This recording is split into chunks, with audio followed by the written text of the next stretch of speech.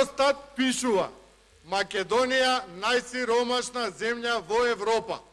Е сега што треба повеќе да ви каже некој друг од тоа што ви го каже не опозиција, не некој друг. Евростат ви пише најсиромашни граѓани, најмали плати, најмали пензии, најмало све, најмизерна земја.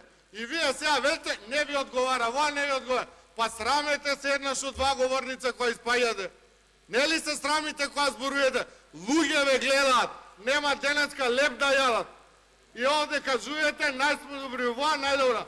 Као ти не кажувате за тие работи? Оти не кажувате за здравството. Оти не кажувате за странските инвеститори по 200 евра плата. И сега било најдобро ова, не ни одговарале политиките. Кој политики ја Што сме најсиромашни, најмизерни во светот.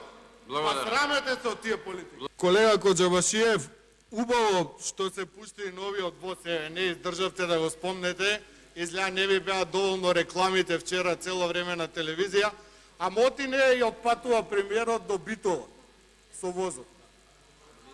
Не, зошто не отиде до Битола? Две недели граѓаните на Македонија не можат да се отидат со воз до дома.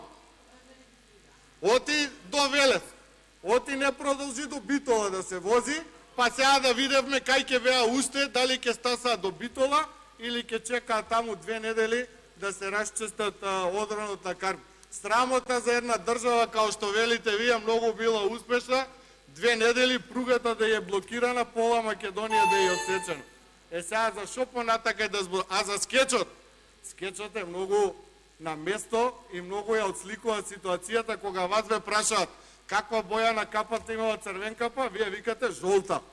Само за да може повеќе пари да трошите. Затоа кога ве прашаме колку е јавниот долг, вие зборуете за ланскиот стек. Колешке Ане Лашковска, во Веле се отвори фабрика Маркет. 170 во моментот работат. Вие тоа го припишувате како ваша заслуга.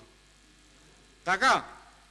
Е сега, во Велес се затворија и две нови две фабрики. Жито Вардар, 600 вработени, Киро Чучук, 500 вработени. 1100 луѓе без работа. Чија е сега тоа заслуга? Наша е?